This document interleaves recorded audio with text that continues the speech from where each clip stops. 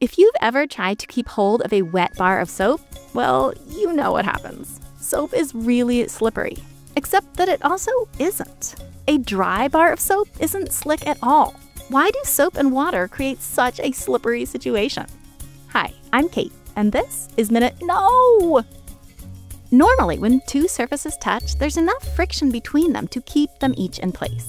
That's why when you jump onto, say, a dry backyard slip and slide, nothing happens. But if you get things a little wet, the water acts as a lubricant, reducing friction between the two surfaces and making things slippier. But only a little. Since water molecules have positively and negatively charged ends, they tend to join up with each other in beads, leaving dry spots around them.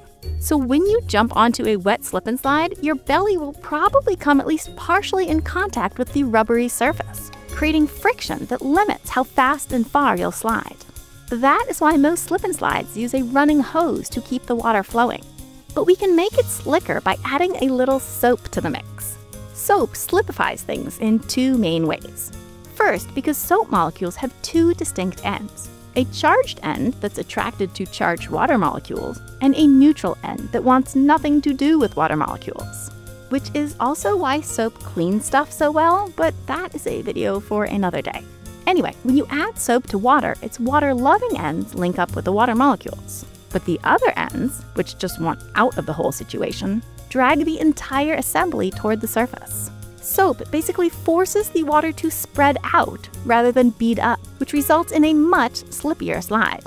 And if the soap has foamed up, as soap tends to do, the foamy air bubbles will provide an additional friction blocking layer between your body and the slide, increasing the opportunities for slippage. Bottom line, soap can increase water's ability to keep two surfaces apart. But when one of those surfaces is the soap itself, things get weirder because that surface essentially disappears entirely.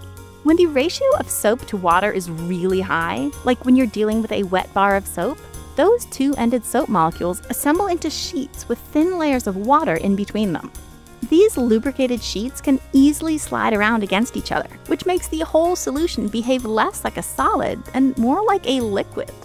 So when you grab a wet bar of soap, you're not even grabbing onto a solid surface. There is nothing to create any friction against in the first place. So some of the slippery soap effect is soap making water slippery, and some of it is water making the soap slippery. And with that, I'll get off my soapbox. You know what all this reminds me of? A VPN. Hang with me for a sec, because this video is sponsored by Surfshark VPN, and I want to revisit this whole slip and slide metaphor. Imagine that you are you, which, I mean, isn't hard, and that someone is trying to slip into your online life and get access to your data and activity. Now, here we want friction, something to block those slippery bad guys. And a VPN provides that friction, keeping your private stuff private. Okay, maybe the metaphor needs work, but Surfshark VPN does protect your data from prying eyes when you're out and about. And it lets you watch content that's not available in your area, like The Secret Genius of Modern Life, this great BBC show about technology that you can't watch here in the US, unless you use a VPN like Surfshark. There is no risk in trying Surfshark. It works on unlimited devices, and they offer a 30-day money-back guarantee. Go to surfshark.com slash minuteearth for four extra months of Surfshark. That's surfshark.com slash minuteearth.